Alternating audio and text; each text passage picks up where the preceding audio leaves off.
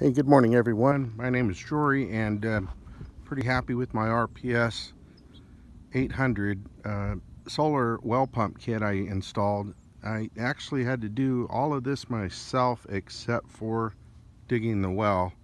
Uh, but anyways, uh, I'm very happy with the end result.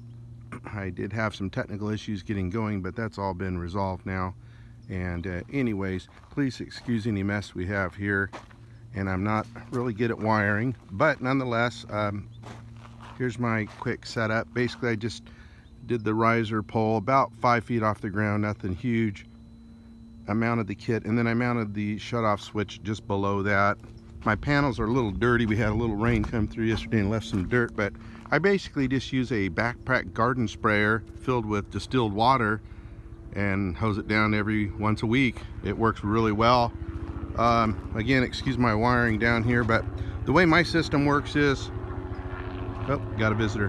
The way my system works here is um, I opted for a lower GPM and what I do is about six hours of the day, it feeds all the way up. I don't know if you can see this. Let's see here. Yeah, there's a tank behind that truck there. There's a storage tank, 3,000 gallons, and it just keeps that full and then the overflow I actually use for a little creek on my property. So it just runs during during the peak sunlight hours.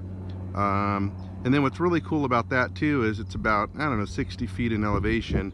I'm able to use the residual head pressure to feed irrigation and bring me back down here. Let me see if I can zoom back out. And then um, so I'll kind of quickly show you here. This my little setup. I don't have any check valves installed yet but um, so this is pure head pressure. We don't have peak sun yet, but so I get water all the way back to my well as well. And then when it's pumping, when it's on, of course, I get pretty good pressure as well. Um, well, that's about it.